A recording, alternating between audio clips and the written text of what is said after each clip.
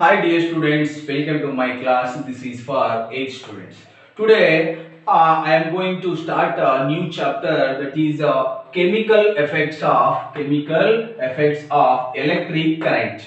So in this chapter we will discuss the uh, electricity and uh, how this electricity uh, generates or and how electricity is transferred and uh, what is the effects of chemicals on this electric current okay? In this mainly we have to study the do liquids do liquids conducts conducts electricity. Electricity electricity. And uh, next is uh, uh, effects of uh, uh, chemical effects of electric current. Or effects of chemicals on uh, electric current? Effects of chemicals effect of chemicals on electric current on electric current. And then uh, electroplating. Electroplating. Electroplating. These are the main concepts we have to study in this chapter. So basically we studied the uh, synthetics and fiber chapter synthetic fibers and plastics and also metals and non-metals metals and non-metals. So for examples uh, i am giving uh, uh, some electrical appliances. So these electrical appliances like switches uh, fan switches and bulbs and these are uh, made by both metals and non-metals. So if you consider this is a wire. So this is a electrical wire. Inside uh, we have observed the metals. In that observe the metals. For example, uh, copper, aluminium, and uh, uh, some other uh, metals used for making uh, wires. So inside we can observe the metals, but outside we can observe the plastic coating. Plastic coating. Why this is? And also, if you boil the water for by using the uh, water heaters. So we use the water heaters to boil the water, right?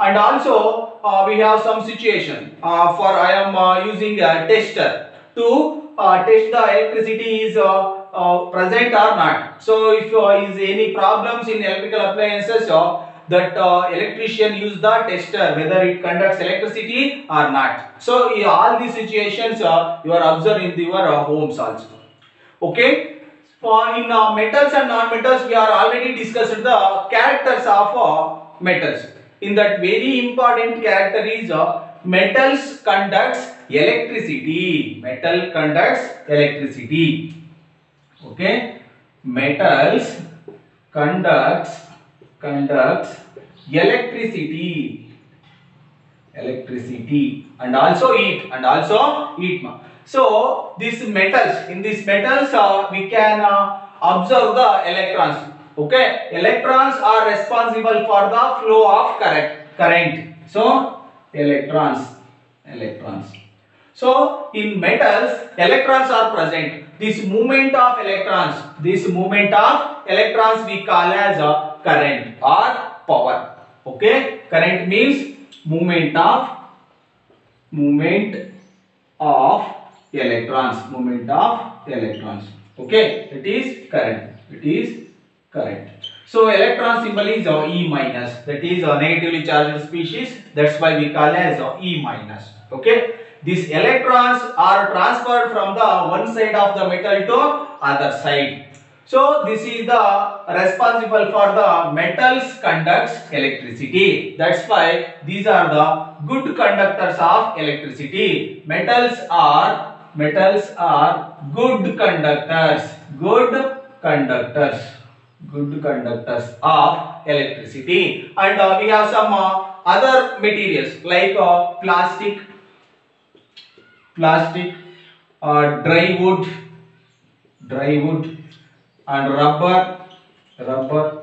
And uh, these materials so metals conducts electricity but these materials plastics dry wood rubber paper these are and uh, uh, non-metals non-metals like carbon diamond all these uh, do not conduct the electricity do not conducts the electricity. Do not conducts the conducts the electricity. Do not conduct the electricity. This we call as bad conductors or poor conductors of electricity. Poor conductors. Poor conductors of electricity. Poor conductors of electricity. Which ma plastic, dry wood, rubber and uh, some other uh, paper, carbon, diamonds. These are and all uh, non-metals. So simply we have to remember ma metals conducts electricity. Non-metals, non-metals does not, non-metals does not conducts, does not conducts electricity, It does not conduct electricity. This is what very very important. So we have so many materials. In that materials, some materials conducts el- electricity and some materials does not conduct electricity. The materials which conducts electricity we call as metals and non-metals does not conduct electricity. So this is very very important. So uh, at the time of uh, any electrical problems, uh, don't put the water in the or, or in the dry hands. Don't touch the electrical appliances. So this is all uh, suggestions uh, are given by your uh, elders. Okay, so elder, uh, elders or parents uh, some give some suggestions when you touch the electrical wire or any to solve the any electrical problems. So they give some suggestions. Wear the slippers and don't touch with the dry, uh, the wet hand. This is all the suggestions given by parents. Why? Because this uh, wet means uh, water. Water conducts water conducts uh, electricity. Water conducts electricity. But water is not a metal. right? Now this is very very important. So this is a liquid. In this liquid, ions are present. Ions are present. uh. So in water, simply I am taking. Uh, this is we will uh, study in the higher classes very deeply. But this is uh, in this 8th standard, you have to remember the main points are uh, very simple it. That is in uh, this. I am going to give a deep explanation, but don't need of uh, or don't bother about this. In HO2, uh, H2O, we have ions H plus ion and uh, OH minus ion. In this uh, ions, these ions are responsible for the conduction of uh, conduction of electricity. In metals, electrons are present. In this liquid, ions are present. Because of presence of ions, this water conducts electricity. That's why don't touch the uh, electrical appliances with the wet hands.